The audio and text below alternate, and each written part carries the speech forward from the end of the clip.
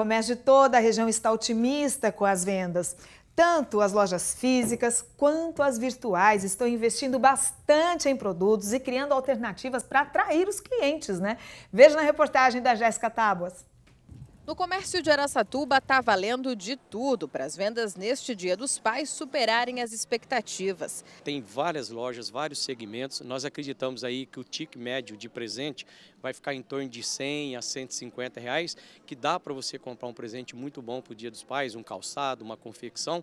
Nós estamos muito positivo e aguardando os consumidores para a data do Dia dos Pais aqui no comércio de Araçatuba. Além de caprichar nas vitrines, os lojistas têm investido em produtos novos e naquela promoção que todo mundo adora. Eles têm que fazer uma bela decoração na vitrine, ser atrativo nas promoções e principalmente o atendimento. Um atendimento de excelência faz com que o consumidor seja fiel a essa empresa, a essa loja. O Antônio Carlos, que é gerente desta loja em Araçatuba, vem mesmo se dedicando para a data comemorativa e espera um aumento nas vendas de cerca de 6%. A gente procura sempre colocar aqueles produtos é, que, que tem mais procura, né? Para o Dia dos Pais, uma bermuda, uma camiseta, né, com um preço bem atrativo. Isso funciona bem. Nas lojas físicas, os comerciantes têm tentado de tudo para atrair os clientes no Dia dos Pais. Mas esse mesmo empenho e criatividade também é visto em quem trabalha com vendas online. Um dado divulgado pela Associação Brasileira de Comércio Eletrônico mostra que essa modalidade de comércio deve movimentar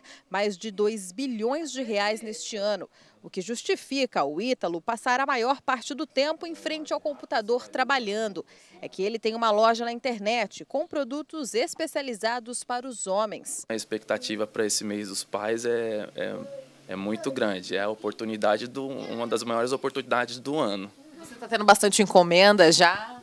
Já, já, já estou preparando uma ali.